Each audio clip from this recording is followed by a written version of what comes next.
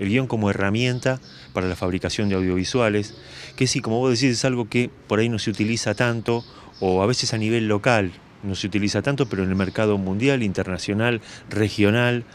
y hasta en el nacional de largo alcance, digamos, es absolutamente imprescindible.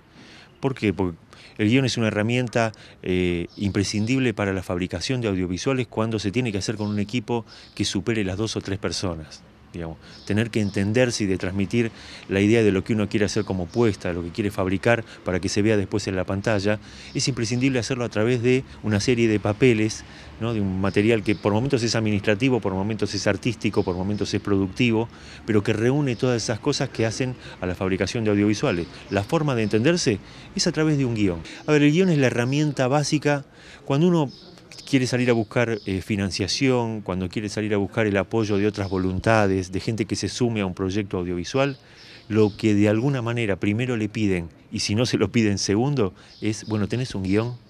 mostrame qué es lo que querés hacer a partir de juntarnos todos y empezar a fabricar un audiovisual. En algún momento un profesor de la carrera nos decía, no hay que salir a grabar, a hacer imágenes sin saber primero qué es lo que uno quiere, y para eso es necesario el guion, como usted decía.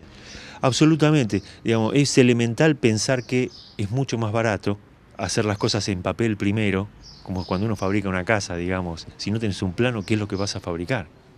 Claro, si vas a hacer una, una, casilla con cuatro chapas, posiblemente lo puedas hacer sin tener ningún papel antes. Pero si vas a pasar de eso, si vas a poner un ladrillo arriba del otro, naturalmente tiene que estar planificado, tiene que estar en un plano. Y el guion es la representación en un plano, digamos, en papel, de lo que vamos a ver después en la pantalla.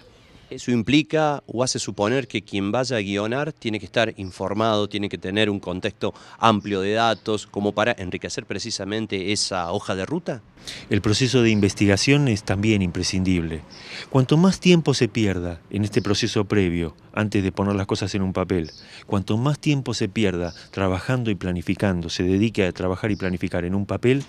mucho más se va a ahorrar después en el proceso de producción, que por supuesto es lo más caro y es lo que más energía lleva.